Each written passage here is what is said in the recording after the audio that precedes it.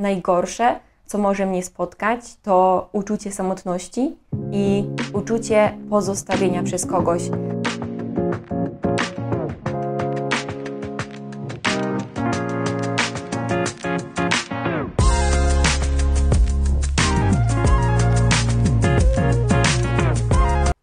Hej, dzisiaj wybieramy się na Drift Masters na Stadion Narodowy, także przygotujcie się razem ze mną, bo tutaj mam wszystko i mam taki pomysł na mój outfit dzisiejszy. Na pewno zakładam tą spódniczkę, ponieważ zakochałam się w niej i jest taka, no naprawdę ekstra, więc ją zakładam na 100%. Do tego stwierdziłam, że biorę taki top. O, ja go sama ucięłam, to jest koszulka polo, po prostu ucięta przeze mnie i to się mega w ogóle fajnie wpasowuje w niektóre outfitiki. Coś innego takie o. I właśnie teraz nie wiem, czy zakładać taki żakiecik, który jest bardziej elegancki, czy skórzaną kurtkę, taką bomberkę. I chyba wezmę tą kurtkę. Jakoś tak bardziej do mnie przemawia. Oczywiście dodatki, czyli będą oksy i moja torebka z kopcia. Dobra, po dłuższych zastanowieniach stwierdziłam, że ani ten żakiet nie pasuje i ta skórzana bomberka też tak średnio. I chyba zakładam taki po prostu zwyczajny oversize'owy żakiet.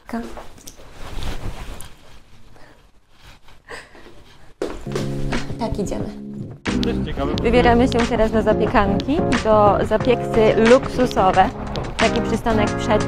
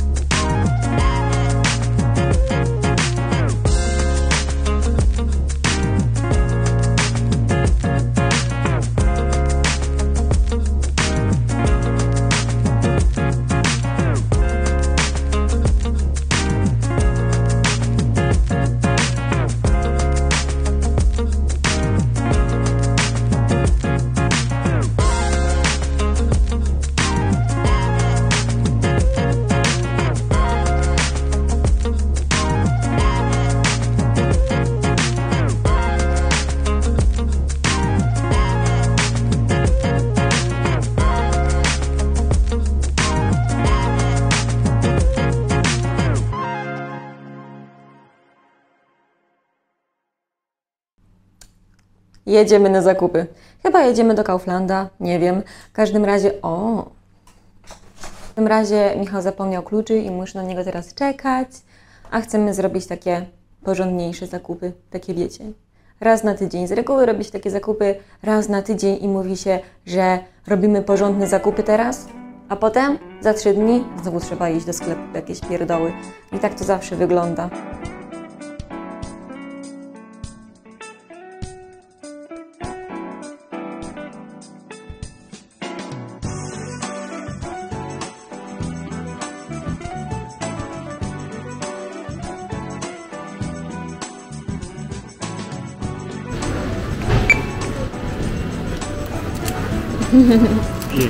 Od rana chodzi za mną ciasto francuskie ze szpinakiem i serem feta. Ja kiedyś robiłam już takie rogaliki z ciasta francuskiego, mm, które były nafaszerowane szpinakiem z właśnie fetą i kurczę, powiem Wam, że przechodziliśmy, ja nie wiem, chyba z 3 cztery sklepy i nigdzie nie mogę znaleźć odpowiedniego ciasta francuskiego, ponieważ ja nie chcę ciasta francuskiego, oczywiście chcę gotowca, bo wiadomo, że robić samemu ciasto francuskie, nie wiem ile dni się to robi, musiałabym się nauczyć, ale Chciałam po prostu, żeby w składzie było masło, normalne masło, a nie tłuszcze roślinne, jakieś tłuszcze palmowe albo jakieś inne margaryny. No nie chcę, po prostu chciałam, żeby to było jakieś dobre jakościowo, to ciasto francuskie. I kiedyś było, pamiętam właśnie, że kupowałam, bo zawsze czytam składy.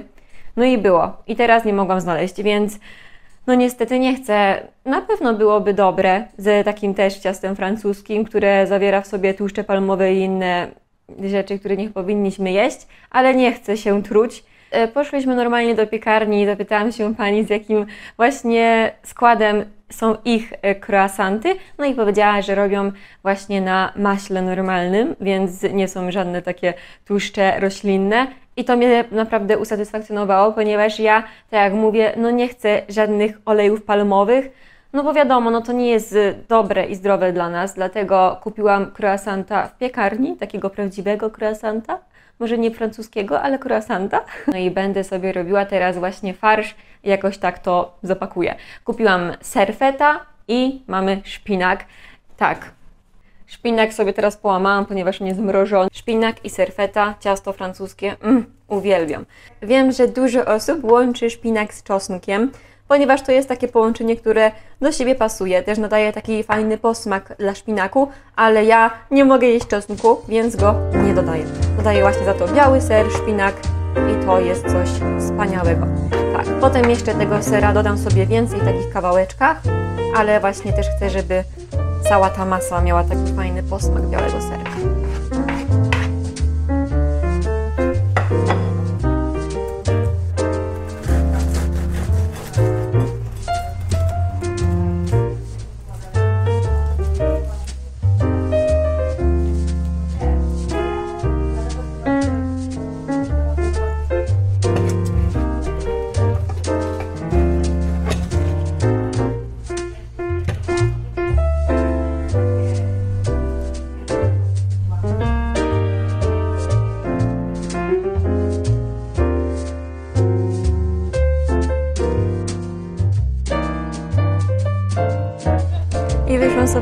Dzisiaj pochodzić po Starym Mieście, ale powiem Wam, że jest tyle ludzi. Ja zawsze mam takie coś, że chcę wyjść, robić jakieś zdjęcia, miałam pomysły, ale jak jest tyle osób, to tak, mm, no nie.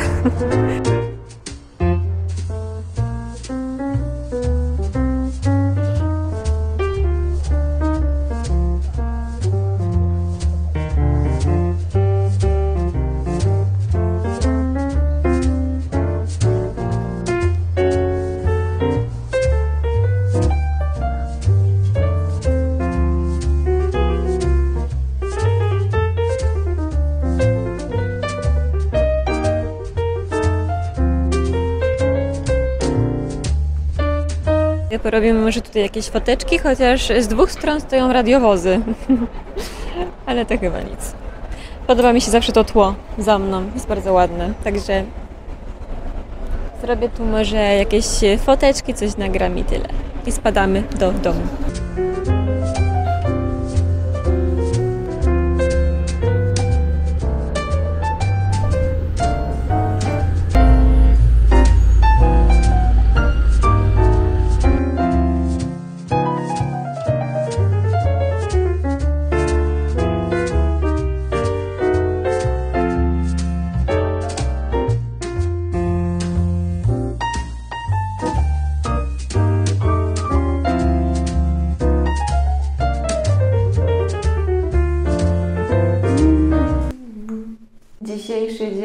Zaczynam od maseczki, ponieważ ratuje moją twarz. I tak jak ostatnio mówiłam, że udało mi się w końcu wyleczyć czoło, tak przyszedł okres i ponownie mnie wysypało. No nic, czasami bywa i tak, nie ma co się tym przejmować, po prostu trzeba dalej działać, robić i tą rutynę pielęgnować. Przyjechałam właśnie z Maxem i Tiffany na wybieg. Jeszcze tutaj nie byliśmy na żadnym wybiegu, także jestem mega ciekawa, jak on wygląda. Dookoła jest trochę wybiegów, ale nie mogłam znaleźć takiego, który najbardziej mi pasował. No a tutaj były widoczne zdjęcia, więc byłam pewna, że jakieś ogrodzenie jest, no i że ten wybieg jest taki jak wybieg dla psów, bo widziałam jakąś polanę, która w ogóle nie była ogrodzona i było, że to jest wybieg dla psów, no nie wiem. W każdym razie idziemy i zobaczymy. Jest dzisiaj mega gorąco, także słyszę jak już psiaki dyszą z tyłu. Wzięłam wodę, więc mamy wszystko, co potrzebujemy. Lecimy i zobaczymy. Niech się wybiegają, a potem czeka je kąpanko, także nie mówmy im, bo się załamią za chwilę. No, ale wybiegać się trzeba, także lecimy.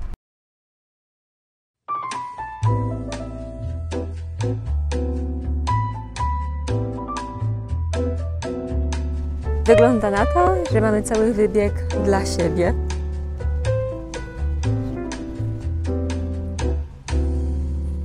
Ale ciepło, co? Ale ciepło. E, Tiffany w okopach? Ti, co tam robisz? O, jak fajnie.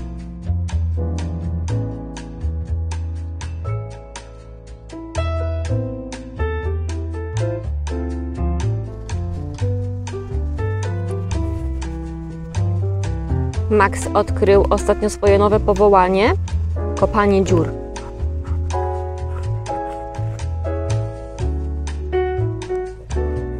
Nornica? Ty jesteś nornica, Max? W ogóle. Max, co to w ogóle za nogi?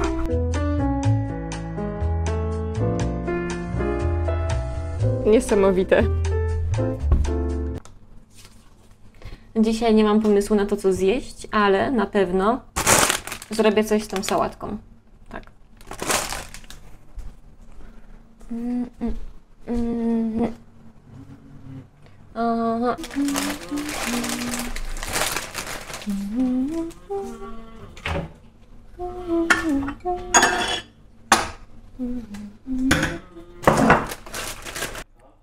Haircut.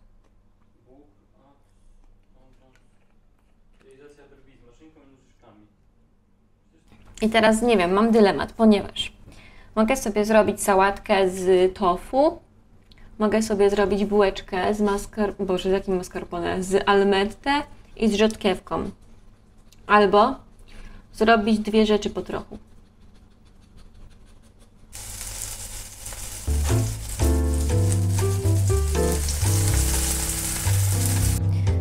Taką piękną bułeczkę dzisiaj Michał dorwał z piekarni.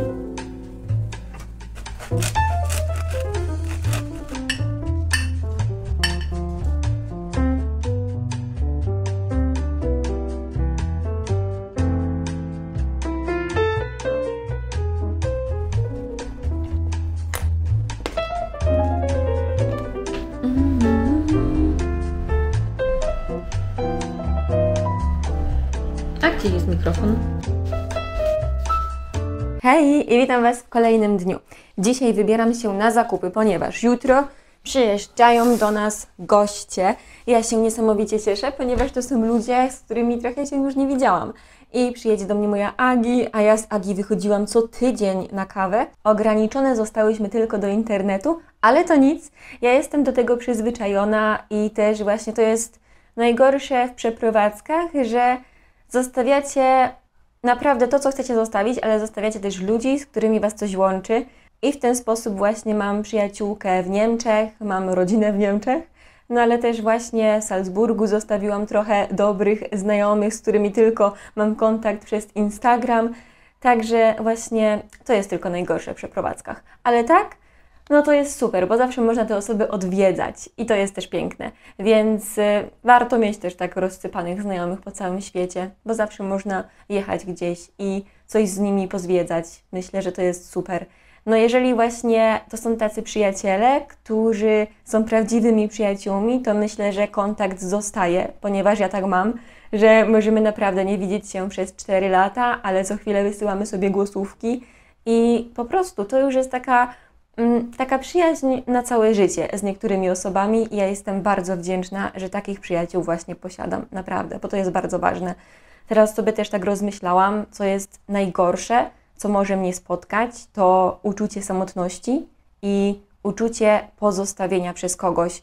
Nienawidzę, jak ktoś mnie zostawia. Nienawidzę tego uczucia, też dlatego bardzo ciężko było mi nawiązać nową relację z Michałem, ponieważ zawsze miałam tą taką obawę i musiało minąć naprawdę sporo czasu, żebym mu zaufała. I to jest właśnie najgorsze w takim, że ktoś Was zostawił. Ja miałam takie uczucie właśnie pozostawienia przez niektóre osoby w młodym wieku i myślę, że to właśnie tak zrobiło już tak podświadomie we mnie, że takie obawy mam czasami i nienawidzę tego uczucia zostawienia przez kogoś. No nic, w każdym razie. Dzisiaj nie skupiamy się na tym, co negatywne, tylko na tym, co pozytywne, e, tak jak codziennie i musimy iść do sklepu. Muszę zrobić zakupy, kupić różne, wiecie, jakieś kubki. Chcę kupić plastikowe rzeczy, ponieważ nie mam wszystkiego identycznego i też nie chce mi się po imprezie wszystkiego myć, więc lepiej kupić jakieś papierowe kubeczki i zrobimy coś w stylu amerykańskiej domówki. tak, tak, tak sobie wymyśliłam. Dzisiaj też nie będę pewnie dużo nagrywała, tak jak przez ostatni tydzień, ponieważ ten tydzień był naprawdę wspaniały, ale był dość no taki produktywny, mogę powiedzieć, i dużo osób nas odwiedzało. Był u mnie mój brat i ja też w takich momentach po prostu wolę skupić się na tych osobach, wolę spędzić czas na przykład z moim bratem, którego nie widzę na co dzień, więc nie nagrywam tak dużo, tylko jakieś urywki i dlatego było dużo przebitek, a mniej rozmawiania, no bo rozumiecie, to są takie, takie momenty, kiedy właśnie no, liczy się bardziej ta chwila spędzona z bliskimi i ja też to bardzo doceniam. Chcę się wybrać do fryzjera i ja mam jakąś obawę przed fryzjerami. Po prostu zawsze wychodzę niezadowolona. Nie wiem, czy też tak macie, ale u mnie jest tak, że zawsze oni albo za krótko mi obetną włosy, bo stwierdzają, że po prostu są zniszczone. Ja te włosy chcę zapuścić, naprawdę chcę, ale moje włosy mają to do siebie, że one nie rosną. I to było taki problem.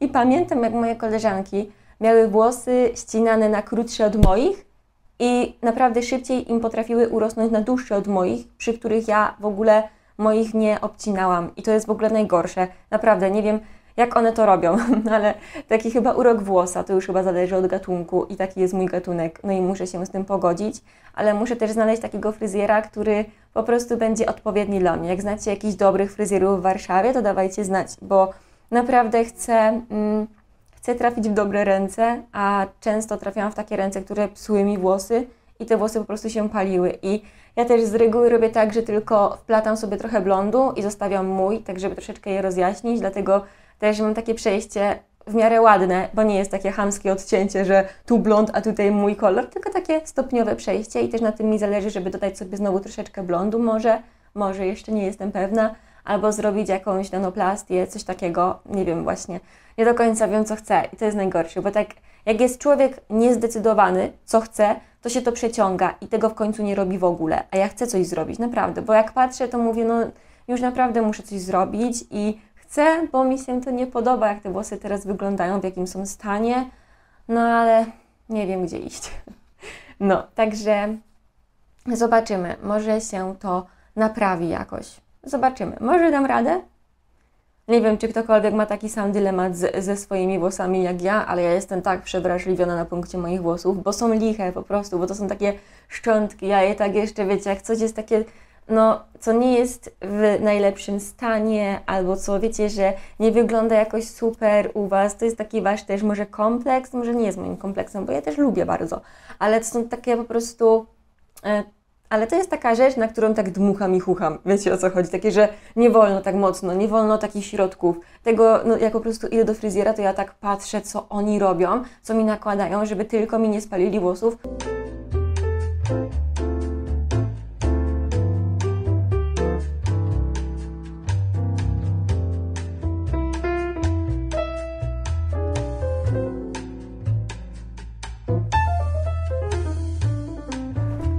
Miałam wziąć dwie rzeczy, a wychodzę z... Chyba wezmę takie markery, ponieważ ja bardzo lubię szkicować i malować na kartkach różne takie rzeczy właśnie markerami i tutaj są takie bardzo naturalne, więc może wezmę to i zobaczymy, może mi wyjdzie to, co planuję. Farbami jest ciężko, a markerami myślę, że może być lepiej, tylko nie wiem, czy te markery mogą malować na płótnie. Zobaczymy. W każdym razie biorę jeszcze szkicownik, ponieważ będę tworzyła logo i inne takie rzeczy i muszę mieć na czym projektować, więc taki mały mini szkicownik sobie wezmę. No i wezmę jeszcze trzy takie płótna, ponieważ planuję właśnie, że na parapetówce każdy, kto chce, będzie mógł sobie coś potworzyć.